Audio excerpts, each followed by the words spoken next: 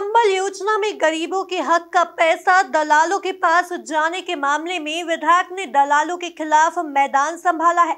विधायक ने प्रेस वार्ता कर दलालों पर निशाना साधा और कहा कि वे दलालों के कारण सीएम को और उनकी योजना को बदनाम नहीं होने देंगे। इस दलाली के खेल में जो भी शामिल होगा उसे बख्शा नहीं जाएगा। देखिए यह खास रिपोर्ट।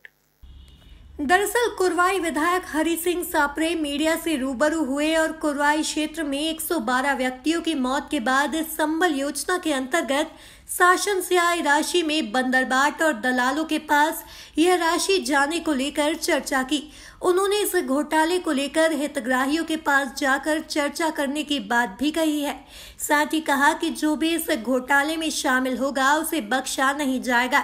वे दलालों के कारण सीएम शिवराज सिंह चौहान और उनकी संबल योजना को बदनाम नहीं होने देंगे।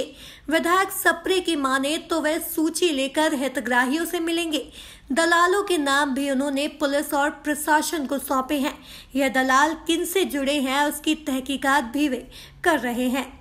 ये दलाल टाइप के लोग हैं, जो मेरे कली नॉलेज में आए हैं।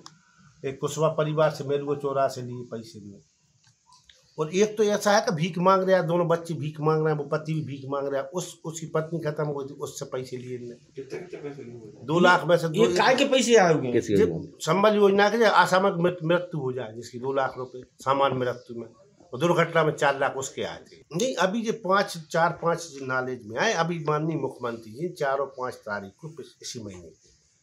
तो संबल योजना में 112 लोगों के नाम पैसे डाले थे। अभी चार पाँच नॉलेज में आए कल से मैं ये सारी सूची लेकर जनपद से।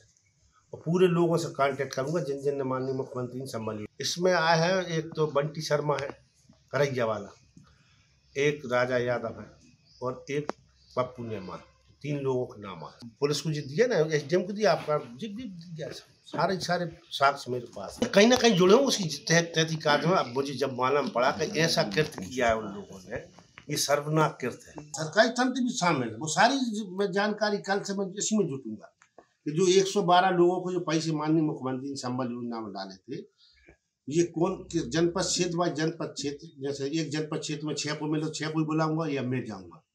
उनसे बात करूँगा, जब छह लोग, पाँच, छह लोग जी पकड़ा तो हो सकता है उनसे भी बच्चे गरीब, किसी से क्या कहेंगे? जब मैं खुद उनके द्वार जाऊँगा कि भाई किसको दिए थे? आप नाम बताइए। तो कितना भी बड़ा नेता होगा साहब। चूँकि मेरे शिवराज जी को बदनाम करने वालों को बख्शूँगा नहीं कुरवाई विधायक ने हितग्राहियों के हक की राशि हड़पने वाले दलालों पर नकेल कसने के लिए मोर्चा खोला है।